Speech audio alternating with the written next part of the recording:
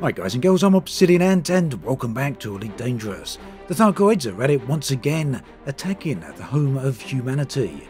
In specific, they're attacking a whole bunch of different stations, causing havoc, damage, burning, and therefore the NPCs of the galaxy are requiring the assistance of players. Now this can take a number of forms, for example there's a rather large megaship here which has come under Thargoid assault and if you do come out this way and drop into this particular instance you'll be offered a mission to fight off the Thargoid scouts which are hovering around here causing a little bit of disruption. Well perhaps that's an understatement judging by the amount of damage done here but yes it's something you might want to get involved in.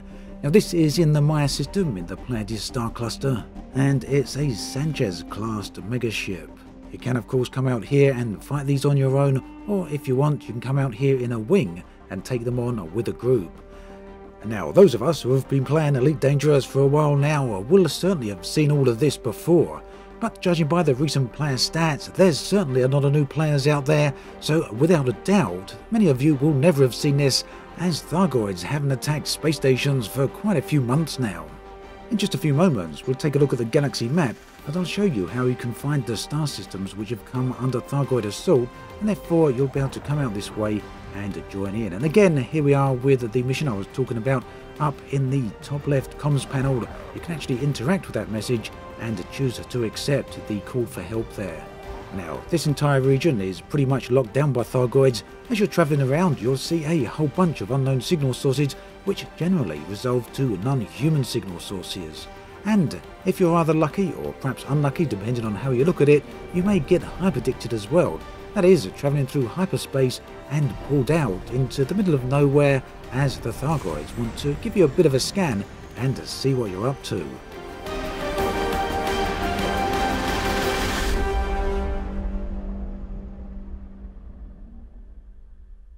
So then, you're keen to get involved with the conflict, but how do you go about it?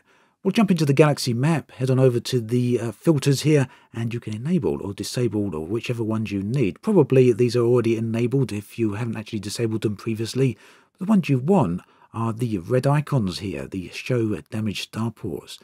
Now there's three damaged starports in the Pleiades star cluster and another three over in the Witchhead Nebula.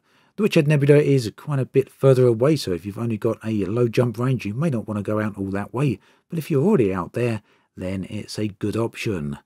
Now here, this is in the Pleiades star cluster, and in the ring system is a Coriolis starport. Now, this isn't the first time that Artemis Lodge has come under attack by the Thargoids. It was damaged before and then repaired, but unfortunately it seems to have been targeted again.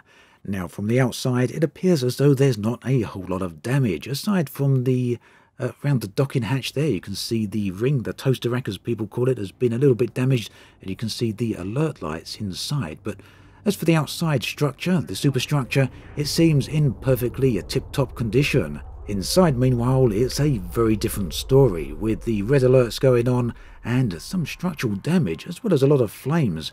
Now, when you're inside here, you do have to watch out as it's very easy to bash into some of the loose debris here. Also, it's very, very easy to overheat. It's basically like an oven in here, a bit of a furnace, and your ship will cook very, very quickly. So you either need a cool running ship or just bring with you a few heat sinks and you'll be good to go. When you're inside the station's end, station services, missions and things like that don't work as usual, but we get to that in a few more minutes, so bear with me. But before we talk about that, I just want to have a look at a few more stations in the region.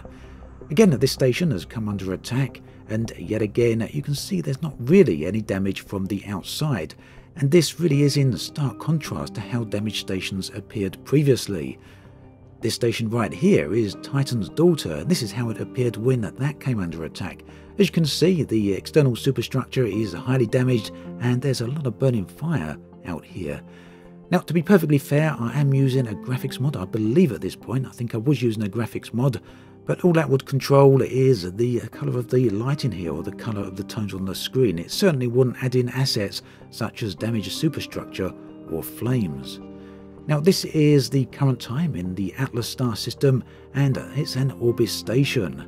Now, there is some superstructural damage here, particularly if one of the pods is on fire. We'll get a close up view of that. It looks in pretty poor shape. The ring is also damaged, and you can see there's some fairly small flames going on there. So, these things are certainly worth checking out if you've never seen them before, because seeing damaged stations is, well, it's pretty interesting to say the least. But I've got to say that, uh, again, the assets seem to have been changed here. This is an Orbis station that came under attack previously, and you can see the flames and the damage is a little different, particularly on the ring. The flames appear to me at least to be far larger. I don't know what's going on there. I have reached out to Frontier, but as yet haven't received a response, so I really don't know if this is an intended change or a bug. But I do know other people have experienced it, and I have seen one or two other people said it has happened before and that it was a bug, but this is a new one on me. Now, here we are inside one of the stations, and if you actually want to help out here, such as evacuating passengers, then you will need to outfit your ship with passenger cabins. Only put a few passenger cabins in here, but if you do this, you're bound to pick up these refugee missions, and all of these people are looking to be evacuated to the nearby megaship. Um, one other thing you're about to do here is to bring in essential commodities that the station's in need of. Just come to the commodities market and sell whatever they're after here. Liquid oxygen, water, clothing, evacuation shelters. In short, all the essentials that you'd expect to be needed in such a crisis situation. Now this is the rescue ship near Copernicus and it's where you're going to want to deliver the rescued passengers if you pick some up from Copernicus.